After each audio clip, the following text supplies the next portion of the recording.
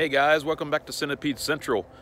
Uh, here we are, another lawn care season is upon us. Just wanted to talk today about um, what you can do kind of coming out of dormancy when the grass is waking up. Mine is actually greening up right now. I've got, it's probably about a third of the way there, I would say. Today is March 11th, so probably by about the 20th to 25th, it'll be pretty much all the way there and greened up depending on you know how cold it gets at night and things like that. But the main topic of today's video would be like when to fertilize your lawn your centipede lawn.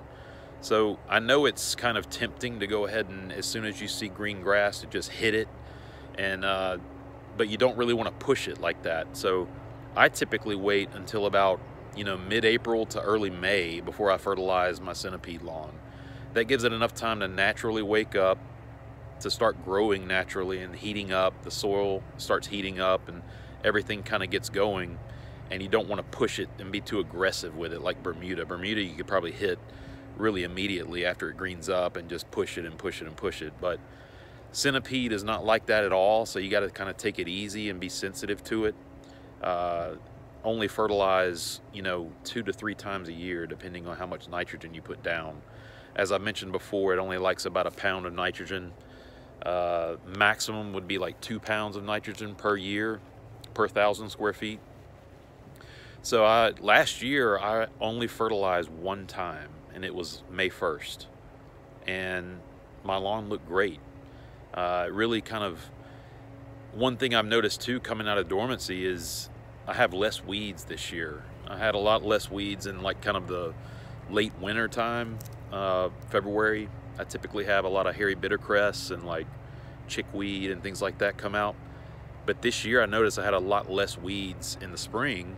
Now, don't get me wrong, I do have my fair share of weeds, but uh, I noticed in February that there was a lot less. And I wonder if going so low on the nitrogen last year really helped that issue, you know?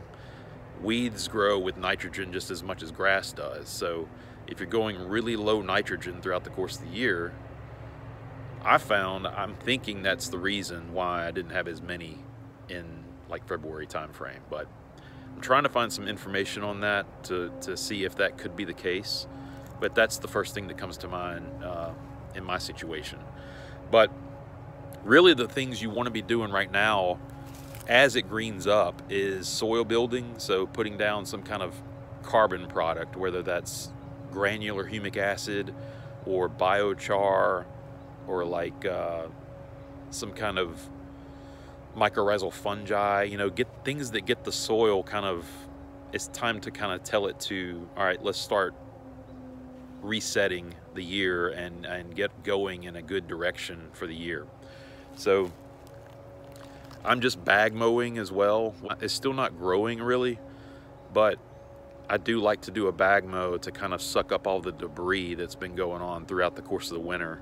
Uh, the grass is kind of like uh, matted down and dormant. So I found that bag mowing in a low setting really helps it to heat up faster as the weather starts changing and just gets things off to a good start.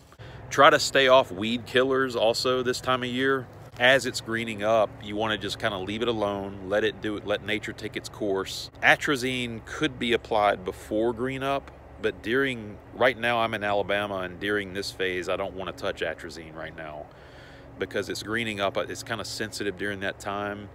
It'll kind of set your, it'll set it back a little bit if you hit it with a weed killer during this transition time. So I typically wait for atrazine like uh, probably around well, well after green up. So sometime in April or May, I'll hit it with atrazine. Or I may just do a post-emergent application of Celsius. I haven't decided fully yet what I'm gonna do for my weeds this year, but those are great options for the centipede lawn and also St. Augustine. I'll be coming out with some more videos. I haven't posted in a while, and uh, thank you guys for being patient with me. Um, but I'll try to get more content out this year. I'm looking forward to it and hope you guys have a good uh, spring. Take care.